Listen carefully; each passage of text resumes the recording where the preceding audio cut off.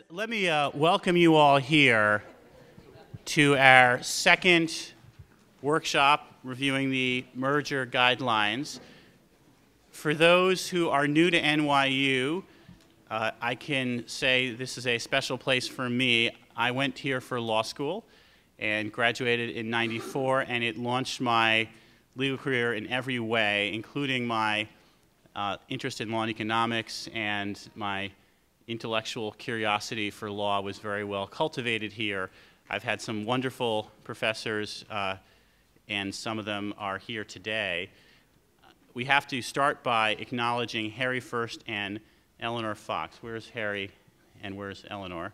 Uh, they are truly the dynamic duo of antitrust, um, and they bring together expertise that they could have been together on one panel where we discuss the international and state levels of enforcement. For those who don't know about Eleanor's work internationally, it's pioneering in every sense of the word. It's great to have her here on that dimension. For those who don't realize that Harry played a critical role in the New York Attorney General's office, heading up their antitrust division, working on the Microsoft case. You'll know more about it when his book comes out um, and gets to share uh, what may, won't be the first word, maybe will be the last word on the Microsoft case. Probably not, but it'll, it'll be worth reading. Harry, it's worth reading. Um, ha Harry and Eleanor um, also run the program here on trade regulation and are a host today. Um, Nicole Arce, who's in the back, is a organizer extraordinaire. The people from the um, DOJ who worked on this, um, who also Jeannie Meikle deserves thanks, said, do I need to come down to watch to make sure things are well done? I said, no, Nicole is here.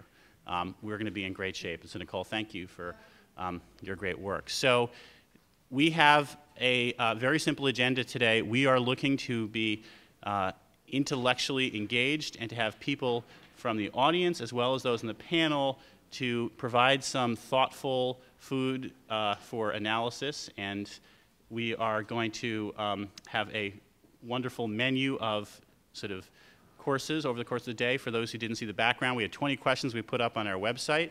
That was a starting point for analysis. We got 37 comments there on the website. Today we're going to chew over all of that with you. We had our first workshop. We got a lot of good thoughts from that experience, and uh, we're looking forward to this one. Um, Howard, do you want to say a few words before introducing Ricky? Well, after listening to Phil, I'm not sure if I work for the FTC or the FDA or maybe the USDA, but um, I want to thank all of you for coming. I want to recognize uh, Liz Callison, an economist from my bureau, who is going to be responsible for making sure the transcripts of these proceedings are accurate and uh, edited, so watch what you say. Um, this will all be a, be a matter of public record. Uh, and really just want to thank everybody for participating. This was a joint effort of the uh, Federal Trade Commission and the Department of Justice. Uh, Phil and I are uh, the two people from the respective agencies running this workshop. We had a workshop earlier uh, last week in Washington, which was our kickoff. We have one in Chicago on Thursday, one in Palo Alto in January, and we will conclude with a final workshop on January 26th uh, in Washington. So those of you who are interested in seeing how these questions get answered from somewhat different angles and perspectives across those different workshops, you'll be able to find a, a webcast of last week's uh, conference as well as transcripts of all of the other ones uh, available for you shortly after each workshop uh, takes place. Uh, so without uh, uh, further delay, I'd like to introduce Dean Ricky Revesz from the NYU Law School. Ricky has just been a wonderful host and also, I would say, in many respects, a mentor to, to many of us. Phil alluded to his time here at NYU Law School as a student. Um, I was not a student here, uh, although my mother was, and I had the privilege to be a visiting uh, professor here last year, and I can tell you uh, it is a truly wonderful place, and we're grateful to them for hosting this event. Dean Revesz.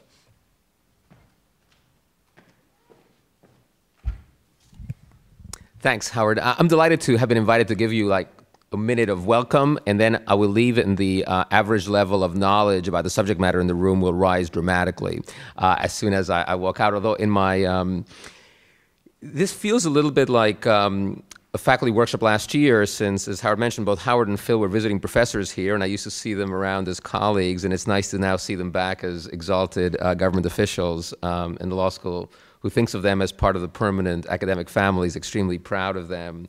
Um, we're also really proud that I, I, I think we'll probably be, um, I mean, I, there won't be any law school that will have more uh, alums um, as FTC commissioners. The chair of the FTC, uh, Jon Leibowitz, is one of our alums, and, and Julie Brill, who's just been nominated by the president, um, is an alum as well. So we feel good about that, and hopefully this close relationship will continue. So I'm delighted. I was delighted when Harry and Eleanor told me that uh, the Justice Department, the FTC, had decided to uh, do one of their um, workshops of the sort of five workshop marathon around the country here at the law school.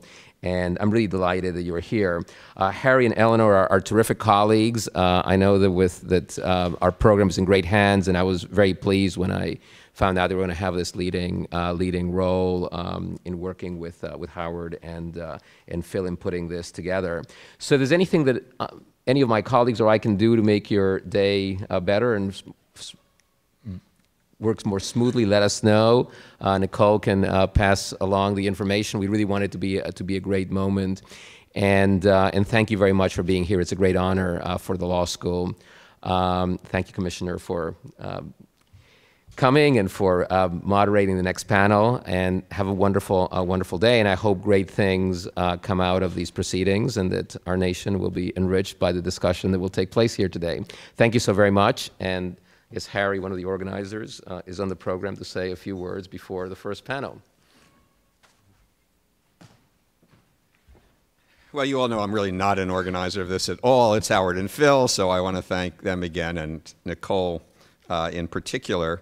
Um, Bruce Prager said to me that um, this is even nicer than the conference room uh, at his law firm where the New York State uh, antitrust section meets. So I want to welcome you to NYU and uh, to the facilities we have here.